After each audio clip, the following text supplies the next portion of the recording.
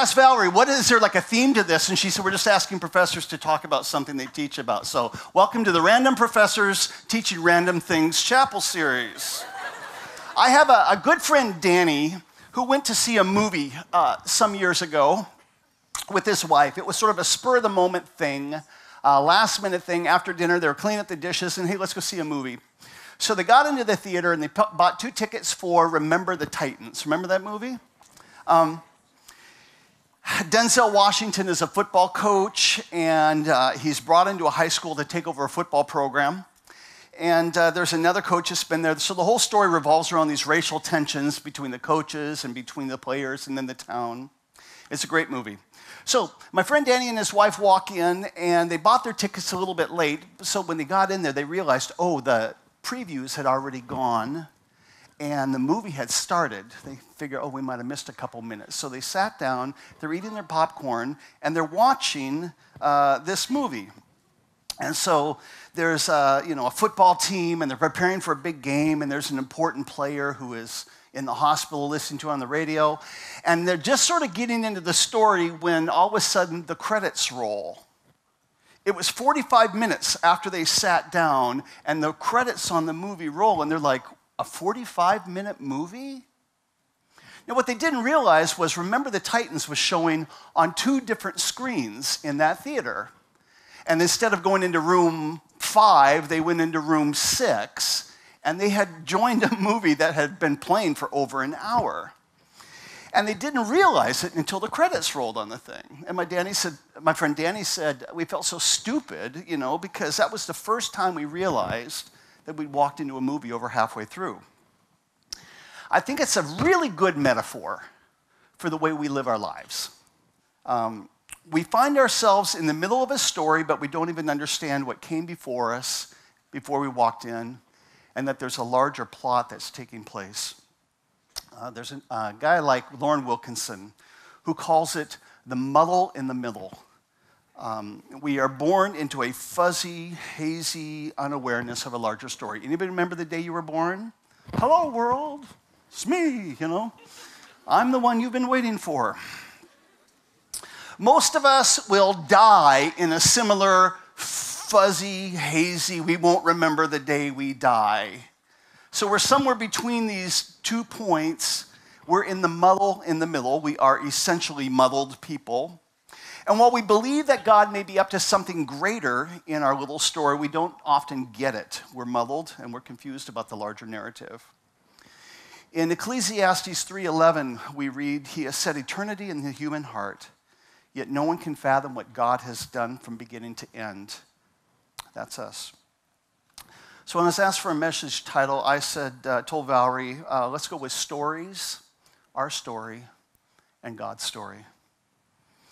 You and I are in a story, and I believe the Word of God is God's story. And this book doesn't tell us everything that God has done, but there's a lot of highlights of God's work in this world from the time of Adam in Genesis through kind of the end of the apostolic age. And then there's prophetic predictions of what's going to come in the future. It's just a narrative of God's redemptive work in our world. So I want to understand my story in light of God's story. I want to not be like my friend Danny, finding myself in the middle of something, but not seeing the larger picture. And so that's where we're going to go tonight. So if you've got your Bibles, turn to uh, Genesis chapter 12, 1 through 3.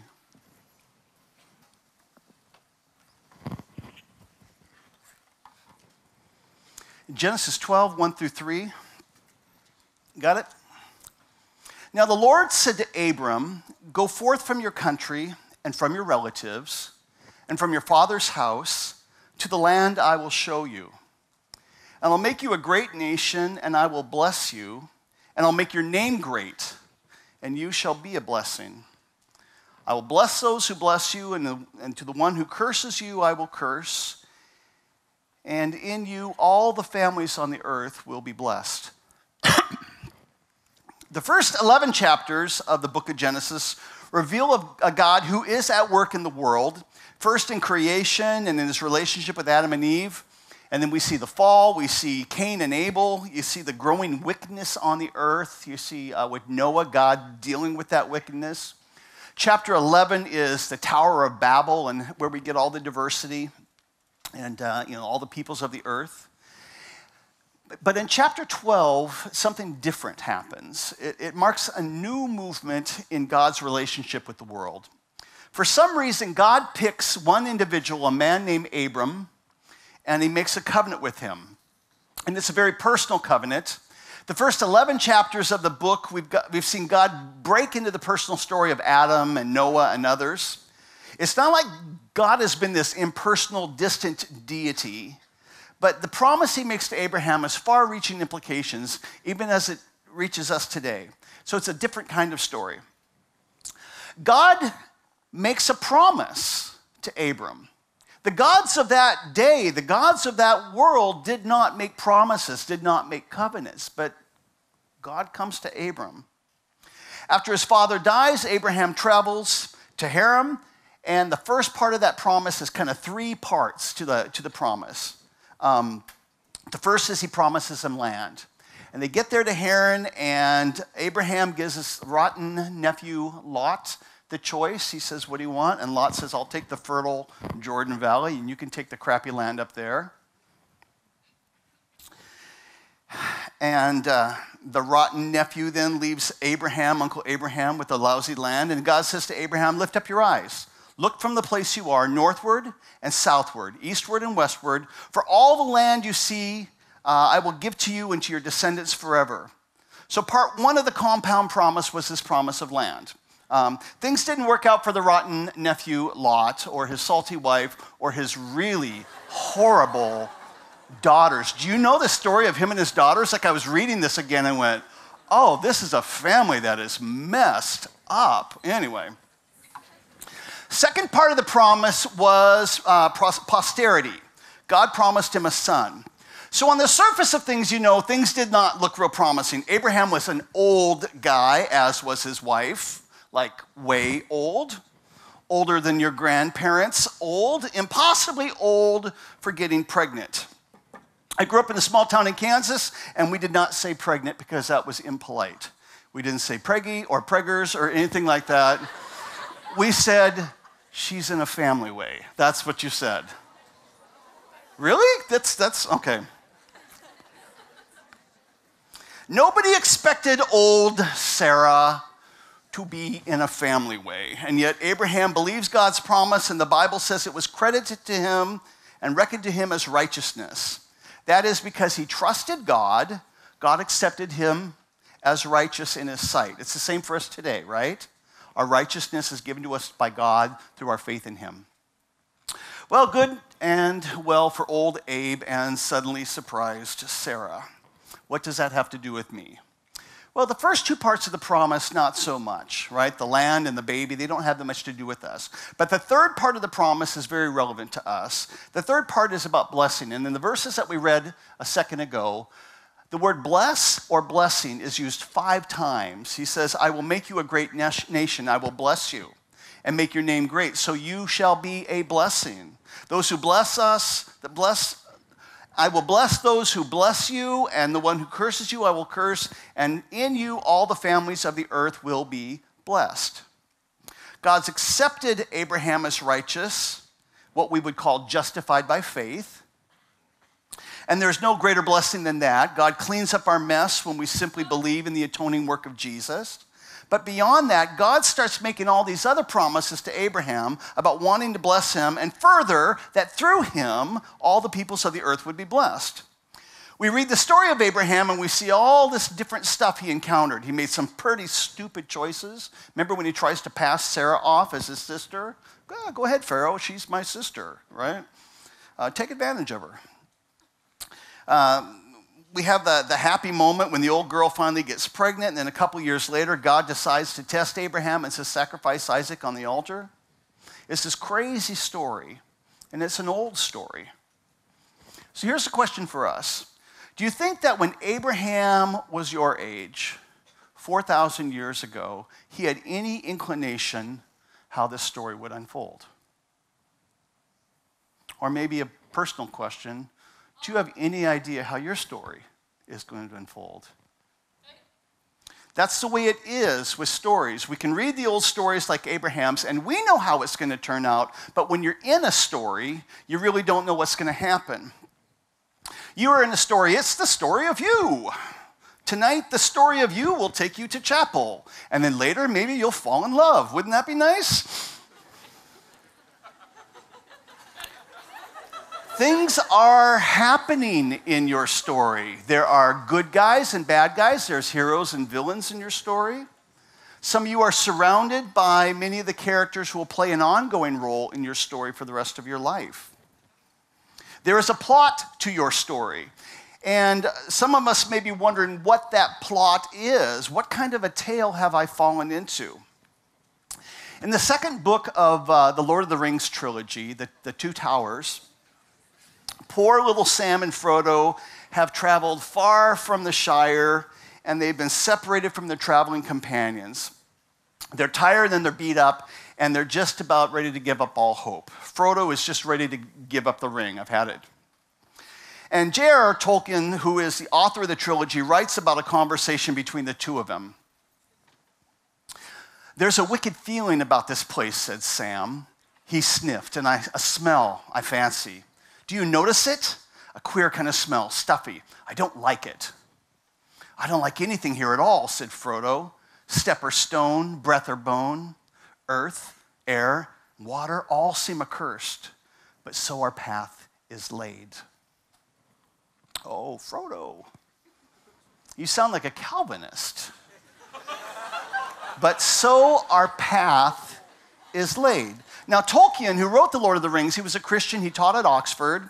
He was quite old in his life when he was finally successful with The Hobbit. He was in his 50s, his late 50s, when that you know, book was kind of grabbed by the hippie generation of the 60s and he became famous.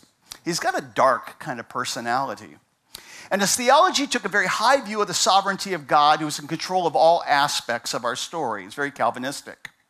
And that leaks out in the Lord of the Rings books. Little Frodo and Sam are being guided by an invisible hand. We could call it destiny, or we could get theological and call it predestination.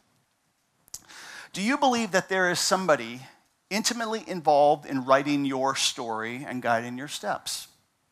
Or are we on our own just trying to make sense of it all by ourselves? Anyway, Frodo says, But so our path is laid. Yes, set so, said Sam. And we shouldn't be here at all if we'd known more about it before we started. But I suppose it's often that way. The brave things and the old tales and songs, Mr. Frodo, adventures as I used to call them. I used to think that they were the things the wonderful folk of those stories went out and looked for because they wanted them, because they were exciting and life was a bit dull, a like of sport, as you might say. But that's not the way of it with the tales that really mattered or the ones that stay in mind. Folks just seem to have landed in them, usually. Their paths were laid that way, as you put it. But I expect they had lots of chances, like us, of turning back. Only they didn't. And if they had, we should know because they'd have been forgotten.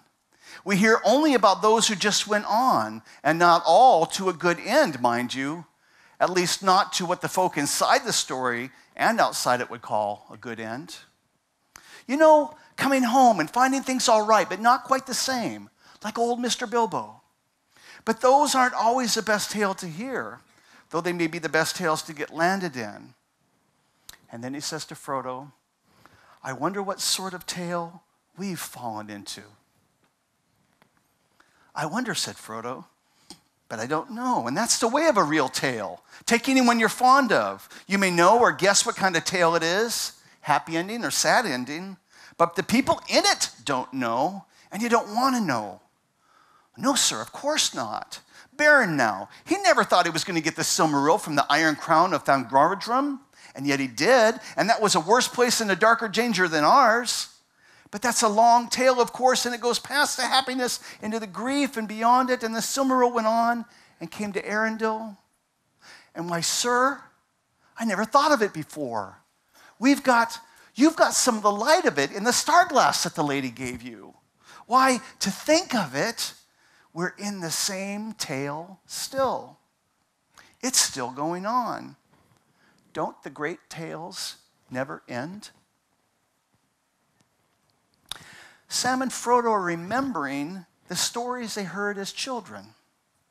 The great tales full of adventure and excitement. But the people in those stories didn't know how they were going to turn out. Now, with Hollywood movies, we know exactly how they're going to turn out. We do. Is it a romantic comedy? I don't want to spoil this for you, but the guy and the girl will get together at the end of the rom com. Guaranteed. Is it a heroic movie? The hero will rescue the day at the end of the movie. He will return from the wilderness and he will cross the threshold and he will come back and save his home or his high school or whatever it might be, right? Those of you who are film majors and intend someday to be scriptwriters, please, I beg you, kill that stupid hero's journey template. Write real stories. Hollywood stories This film majors represent. All right. Hollywood stories follow predictive narrative arc. But here's Sam and Frodo, and they're in the middle of this great tale, and they don't know how it's going to turn out. They realize that they're a part of these great stories. They're still a part of these great stories they heard as a child, and the great tales don't end, and they're just the latest chapter. So, like Sam and Frodo, old, who came first, Abraham or Sam and Frodo? I forget where that's at in the Bible. Anyway, Old Abraham found himself in a great tale and he didn't know how it was going to work out, but God promises land, a child, and a blessing. Now, what kind of story are you in? Let me suggest that, like Sam and Frodo had to come to understand that they were in the same epic story they had heard about. You were in a story that began long before you were born. You are in Abraham's story, and Abraham was in God's story. And whether you recognize it or not, you're part of Abraham's story. So when God said that through Abraham and his descendants, he would bless all the peoples of the earth, God had it in mind that you would fulfill that promise. If you don't look at the story of Scripture and you don't understand your story as part of the greater tale that began with Abraham, you'll never hear this from our culture. Watch television, get on the internet, go to movies, listen to music, politics, education they're not communicating the basic fact that God's story continues to unfold. And like Abraham, we are called to something greater. We have a destiny, we've got a promise to fulfill. Our culture sends us two conflicting messages. Now, the first message is that your story doesn't matter. Throughout the course of this day, how many anonymous encounters have you had? Hundreds, thousands. People don't know you, you don't know them, you're just another car in the freeway, right? What makes you so special on a planet of 7 billion people? Most of us go through our days having anonymous encounter after anonymous encounter with people that we'll never see again, and even in Biola, we may feel completely unknown. What difference would it make if you ditched chapel tonight? Certainly the speaker would know that you weren't there. Many people walk through their life and feel completely worthless and unimportant, and we believe that message that your story is not important. Now, conversely, the second message our, our culture tells us is that your story is the only thing that is important. We live in a time where people chronicle what they ate for lunch and post a picture of it to the internet as if the world is waiting to see a photo of you and your veggie burrito.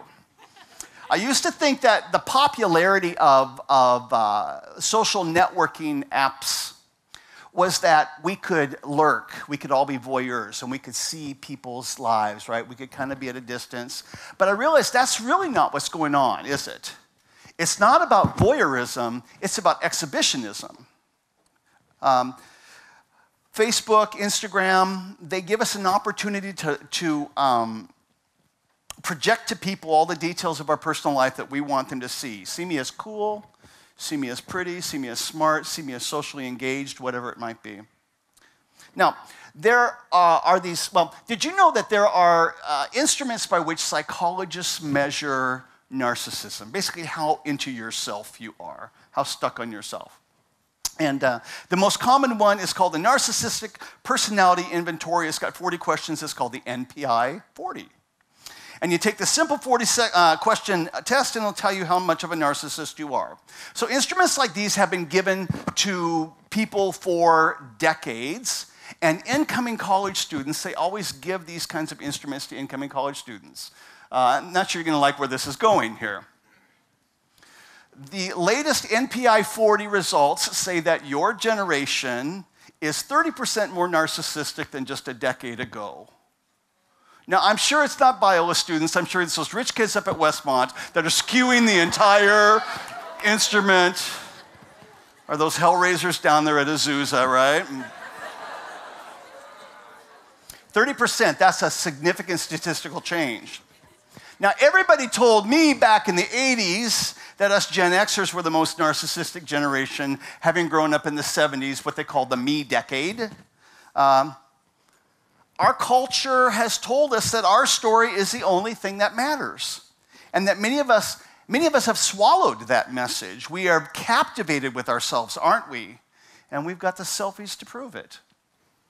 And if you've been on your phone at all during the time I've been talking, updating your social media and you can't turn it off for 45 minutes, you might be an illustration of the very thing I'm talking about. So we've got two conflicting messages that are screamed to us by our culture. Your story doesn't matter, and your story is the only thing that matters. And perhaps it's always been that way, but technology certainly allows this message to be screamed all the louder than ever before. So somehow Abraham doesn't believe either of those messages. He knew that God was calling him to do something special. His story was important, it mattered, but he wasn't fooled into believing that his story was all about him. It was God's story. God was up to something, and he was bringing Abraham along for the ride. God says, I'm going to bless you, Abraham. So, why does God bless Abraham? So he could be a blessing to all the peoples of the earth. That's God's desire. To us tonight, God is saying your story matters, but your story does not revolve around you. God is saying to us, I will bless you so you'll be a blessing to all the peoples of the earth. We're in the same great tale. Paul writes to the Christians in uh, Galatia in chapter 3, 26 to 29. So in Christ Jesus, you are all children of faith, children of God through faith. For all of you were baptized into Christ and have clothed yourself with Christ. There's neither Jew nor Gentile, neither slave nor free, nor male or female. For you are all at one in Christ Jesus. You belong to Christ. Then you are Abraham's seed and heirs according to that promise. What's the fulfillment of this promise to Abraham? You are. God gave it to Abraham 4,000 years ago, and when he made that covenant to Abraham, he knew your name. He saw your face, he knew your gifts that would be given to you 4,000 years ago. God's plan was just starting to unfold, but he had an intimate awareness of you and the unique role that you alone can play in his story. And you and I were put on this earth to come to faith to Christ and become children of God, but that's just the first part. God's promise to Abraham was to bless all the people of the earth, and it's being fulfilled through us. How dare we say to God, My story isn't important? It's internally important. We respond as Abraham did, in spite of all our flaws and shortcomings, find me faithful, Lord. Do you question that God has a destiny for you? Are you tempted to say, well, maybe God is up to something in this world, but I really don't think God wants me to be a part of that? Abraham was a special guy, so it makes sense that God would choose to work in his story the way he did, but me, not so much. I'm an insignificant nerd who wishes he had more money to spend on cool clothes and wish I had a better phone. Or I've got an addiction. I'm awkward with people.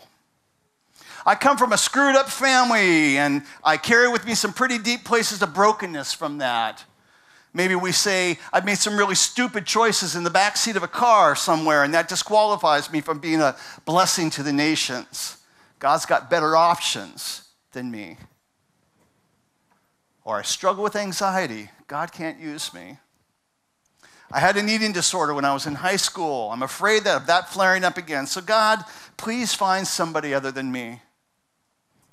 Can God use me? I swear sometimes when I'm drunk. I, that's when I, that was when you can, I want you to feel free to use that one in a job interview. When they say, Do you have any faults? Tell us what your weaknesses, especially at a church. I swear sometimes when I'm drunk. Feel free to use that one. Get a big laugh from the deacon board. All right. Whatever we might be thinking about our story, it's not what God is thinking. When God made his promise to Abraham, it was a binding promise, and it's good for you. Listen to what the writers to Hebrews said. He said, when God made his promises in Hebrews 6, when God made his promise to Abraham, since there was no one greater than him to swear by, he swore by himself, saying, I will surely bless you, and I will give you many descendants. And so, after waiting patiently, Abraham received what was promised. People swear by something greater than themselves, and the oath confirms what is said and puts an end to all argument because God wanted to make the unchanging nature of his purpose very clear to the heirs of what was promised, he confirmed it with an oath. God did this so that by two unchangeable things in which it is impossible for God to lie, we who have fled to take hold of the hope set before us may be greatly encouraged we have this hope as an anchor for the soul, firm and secure. It enters the inner sanctuary behind the curtain where our forerunner Jesus has entered on our behalf. God swore to Abraham, He made a promise. We inherit that promise. God can't break His promise. He took an oath to you that He desires you to fulfill that Abrahamic covenant. He wants to bless you and through you he wants to bless all the peoples of the earth. And we dare not say to him, My story does not matter. Now, the second lie told to us by our culture is perhaps a more insidious lie, or perhaps for our culture. Um, we are told that our story is not just important, but it's actually more important than God's story. So let's create our own narcissism scale, okay? Uh, we'll make it metric, we'll make it worth a thousand points, right? So total selflessness would be zero.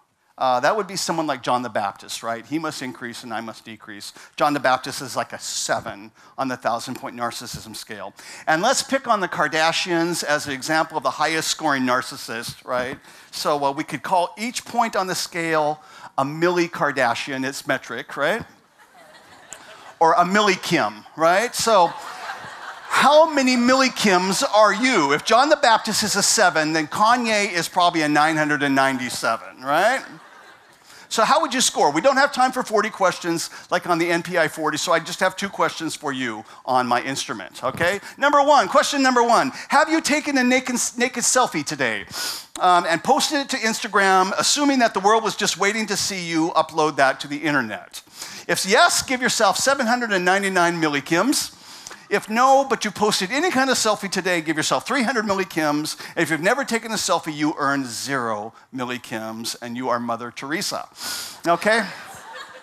Question number two Is there any person you have thought of more today from the time you got up this morning till the time you came to chapel than yourself?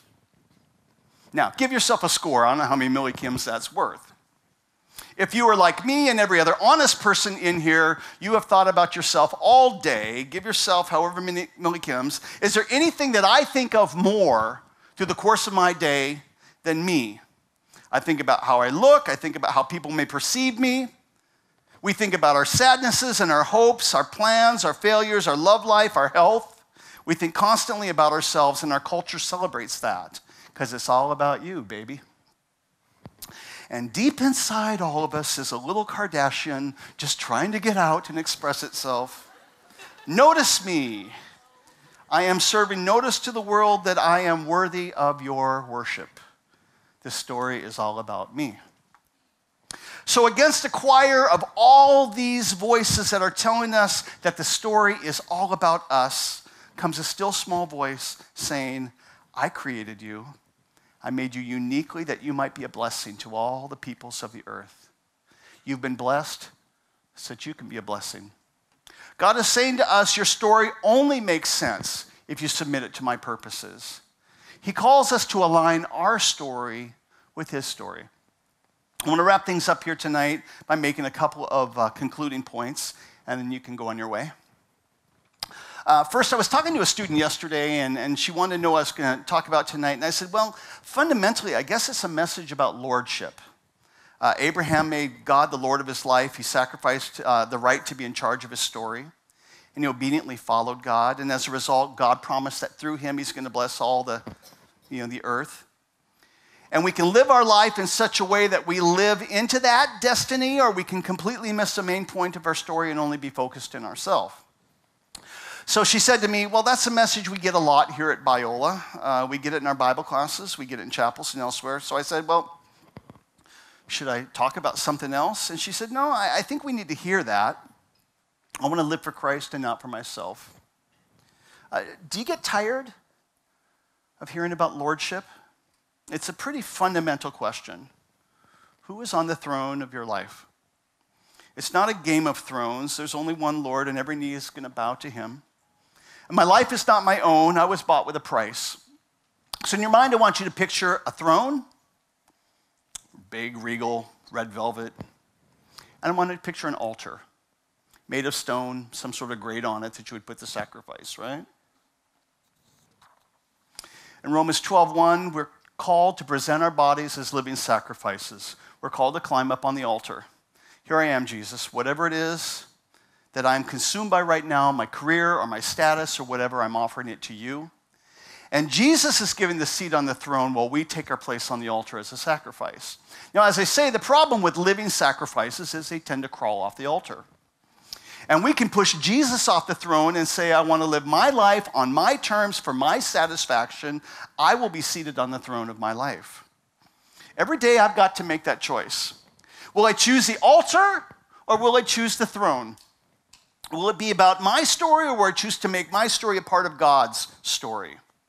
In the passage I read earlier from the two towers, Sam and Frodo were thinking about how the people in the stories they heard about as kids were just like them.